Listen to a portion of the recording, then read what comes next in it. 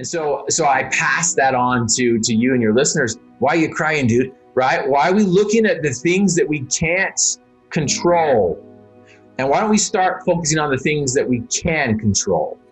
Mm-hmm. And you mentioned that uh, you know I've built a, a, um, a life that I've dreamt, and, and what was interesting is after I had that experience, I had a new dream, and that dream was I'm going to walk again. Not just walk again, I'm going to run again. I'm going to walk and not be weary. I'm going to run and not faint. I'm going to have a full recovery. And, and again, it's been 20 plus years. I'm not running and I'm not walking completely. But the mountain.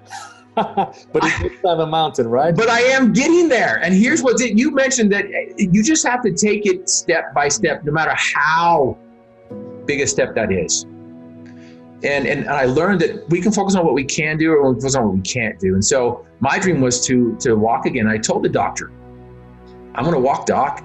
And the doctor just laughed at me. He's like, Griff, it's impossible. You can't walk. And, and there's all the evidence stacked up against me. I had an incision from my belly button to my backbone. I, you know, they opened me up. It was an eight-hour surgery. They, de- they detached my diaphragm, deflated my lung, cut one of my ribs off, cleaned up the shrapnel that was inside there, put a four-inch metal plate, two screws on top, two screws on the bottom.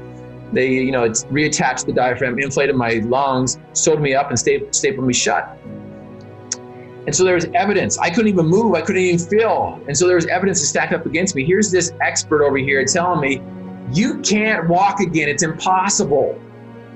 And how many times have we been told that we can't do something because it's impossible? You're delusional, Jimmy, to think that. You're delusional, Jeremy, or Garrett, or Bethany, or Brittany, or whoever it might be, right?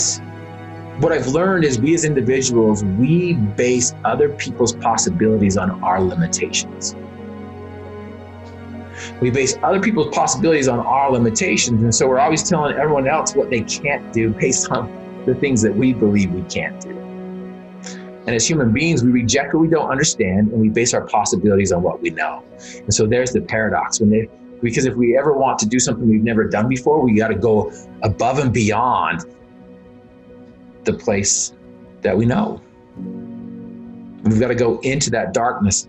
And so we've got to we've got to focus on what we can do instead of what we can't do